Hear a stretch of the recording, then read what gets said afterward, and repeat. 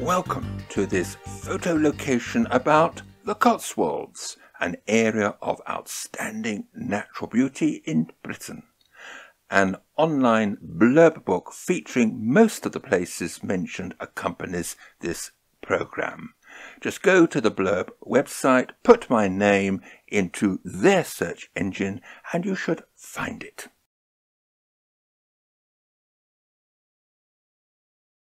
The Cotswolds are a line of gentle hills stretching northeast from Roman Bath towards Shakespeare's Stratford upon Avon. Westwards, the land tilts up to form a continuous escarpment overlooking the Severn Valley, its river winding through Housman's coloured counties of Worcestershire and Gloucestershire whilst to the east it dips gently towards the Thames Valley and the university city of Oxford, ending at Blenheim Palace.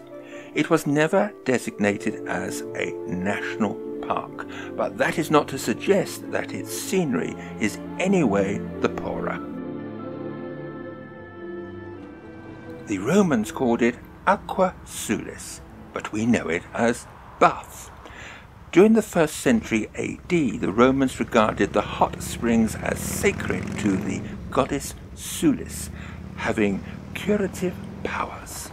By AD 75, they had constructed the baths and temple that are the foundation of today's UNESCO World Heritage Site.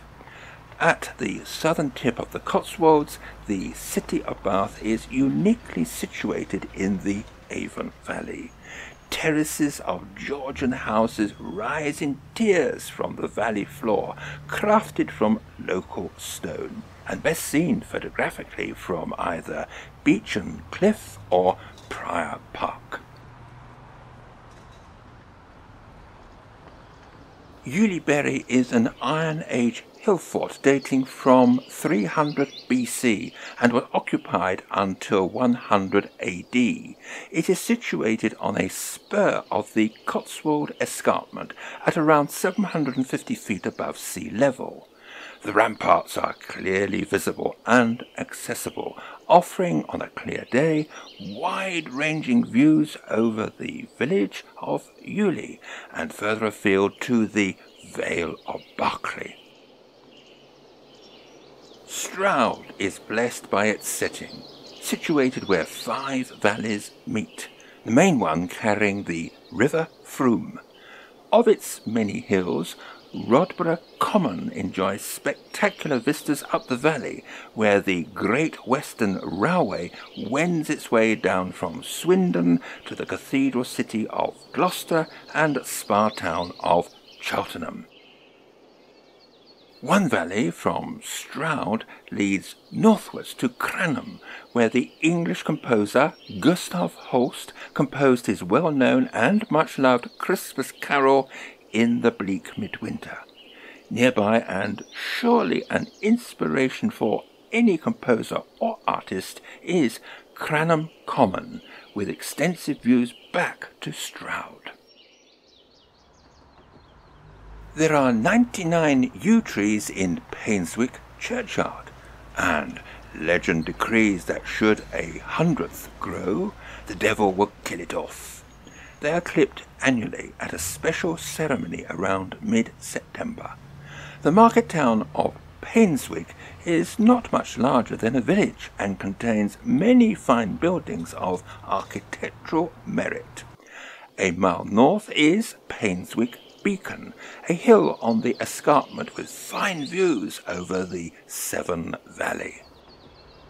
Cirencester is often referred to as the capital of the Cotswolds.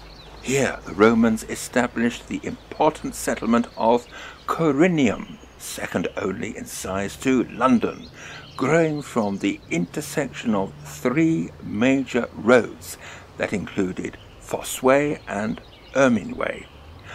Over the years and throughout medieval times, many excellent buildings were built, and not least the parish church dedicated to St. John the Baptist, which dates from around 1115.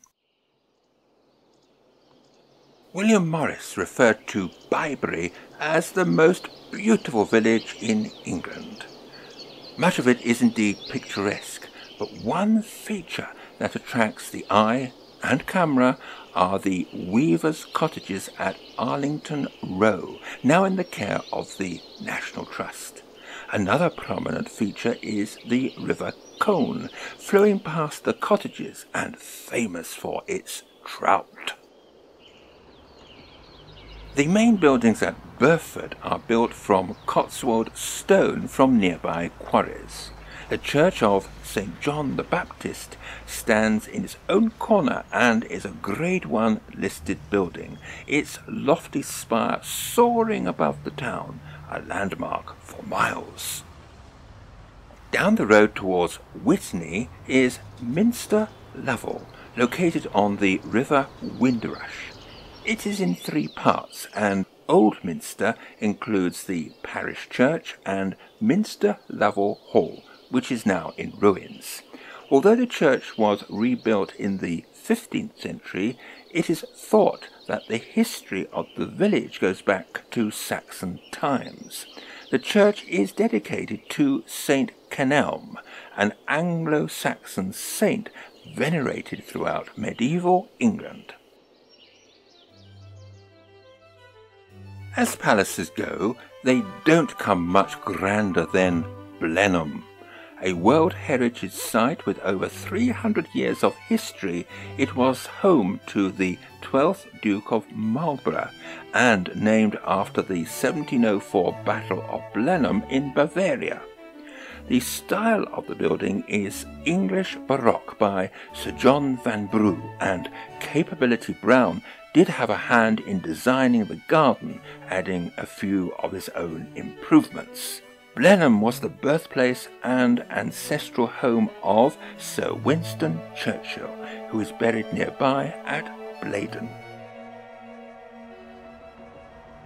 Coach parties flock to Bourton on the Water, attracted by its idyllic setting by the River Windrush, crossed by several low stone bridges.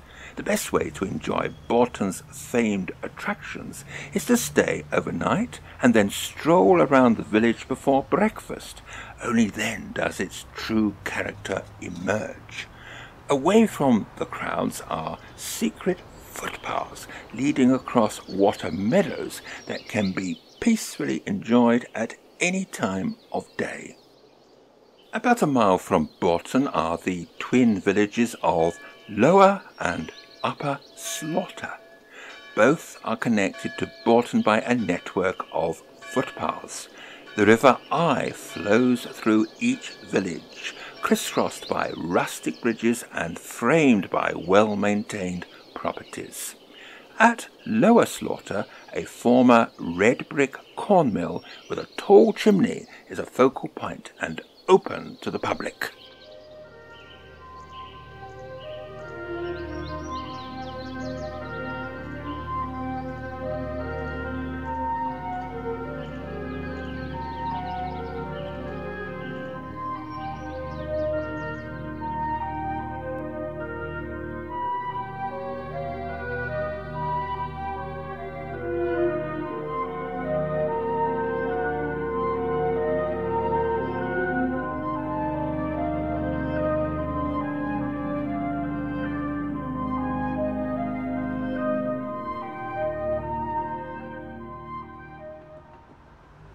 Winchcombe was a place of pilgrimage, and it had an abbey that was rich and powerful.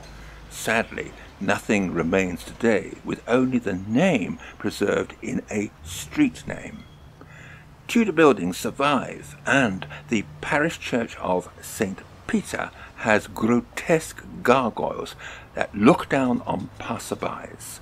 Nearby, Sudeley Castle, which is 15th century, has a notable garden, and the chapel is the burial place of Catherine Parr, the sixth wife of Henry VIII.